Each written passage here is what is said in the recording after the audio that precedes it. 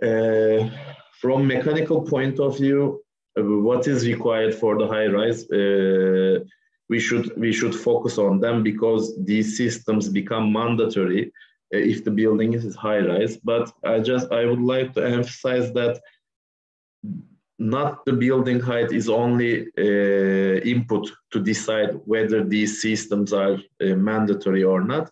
Uh, even if the building is not high rise, maybe we need to provide these systems such as sprinkler system or landing valve system uh, to get these advantages on the architectural design. I will explain you how uh, in the following slides, but uh, first I would like to emphasize this before starting the main part of the presentation. Uh, but for the high-rise building, for the residential building, if the construction height exceeds uh, 51.5 meter, or for the non-residential building, the construction height exceeds 30.5 meter, the automatic sprinkler system becomes mandatory. And uh, informing the mechanical designer is the responsibility of the architecture uh, regarding construction heights that's why you need to know that, for example, some of the investors, uh, some of the investors of residential buildings are limiting the construction heights at 50, 51 meter, uh, not to provide a sprinkler system. They are limiting their height uh, to, to, to, to, to make a, uh, how to, to cut the expenses during the construction phase. That's why the architects should ask uh, the investor whether they are uh, they they have knowledge about the sprinkler or landing valve system mandatories regarding the fire code or not, and then you decide the exact construction construction height during your uh, project. And for the hotel and dormitory, it's a little bit different. They are separated from the rest of the building. If the construction height exceeds 21.5 uh, meters, the sprinkler system becomes mandatory as per Turkish fire code. Um, and the landing valve system uh, is, and the landing valve system becomes mandatory for the high-rise building. It's already it's uh, it's combined with the sprinkler system. For the for for this combined system, we are calling them a water-based suppression systems all together. The sprinkler system, landing valve system, and also the fire hose cabinets. But we will see how, how it will change our architectural design when we provide these systems. Uh, from the mechanical, from also the mechanical uh, point of view, but uh, the smoke, it, it, it is the smoke issue. The pressurization systems become mandatory if the construction height exceeds uh, 51.5 uh, meter uh, or even if our building is not exceeding 51.5 meter, if the stairwell height exceeds 30.5 meter, or the stair, if the stairwell uh, serves uh, more than four basement floor, the pressurization system becomes mandatory as per Turkish fire code.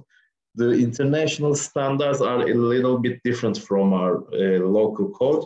For example, regarding the NFPA, the limitation is 23 for the pressurization of the staircases. And they are limiting the number of basement floor uh, with one only one floor. For example, if you are if you are responsible for the international project and you have two basement floors, uh, the pressurization systems become mandatory as per international building code or as per NFPA.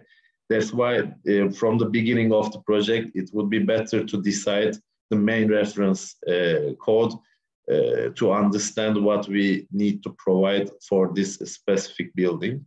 And also for the building where the construction height uh, exceeds 51.5 meters, we need to provide fire service access elevators separate from circulation elevators. It is dedicated for the usage of the fire brigade during a fire incident and it, it, it also should be pressurized by a positive pressurization fan.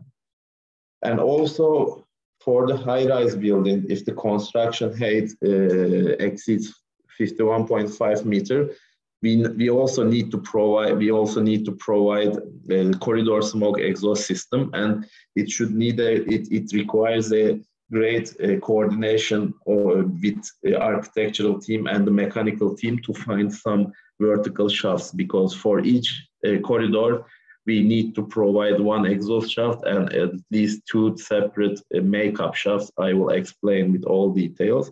It's very important if we are not coordinating it at the beginning of the project and if we finalize the structural design, it would be it, it becomes really impossible to find uh, required area of shafts for this corridor smoke exhaust system. It's, that's, it's also the responsibility of the architect coordinate these shafts and the shaft locations on a high-rise building, within the high-rise building. And also for the hotel and dormitory buildings, it's a little bit different. Even if the building is not a high-rise, even if you have a uh, if, even if you have a only two or three story building, but if it's if the if the building uh, sectional area is large, it means if you have some long corridors more than 45 meters, you should either provide a you should either provide a, a sectional zone doors uh, smoke proof doors or you need to provide corridor smoke exhaust system. It's also decided by the architect if the architect if the architect is okay with providing a door for each 45 meters then you can you you you, you are allowed to omit smoke exhaust system but normally these doors are not preferred by the architects due to the decorative uh, issues. That's why in, in, in, most of the hotel buildings, uh, we have corridor smoke exhaust system uh, as well. And also, uh, this is a very important issue. This is specific to Turkish fire code. If we don't have a 100 centimeter height parapet, two hour fire rated parapet on the facade between the floors, the Turkish fire code requires a closely located sprinkler heads for the facade protection.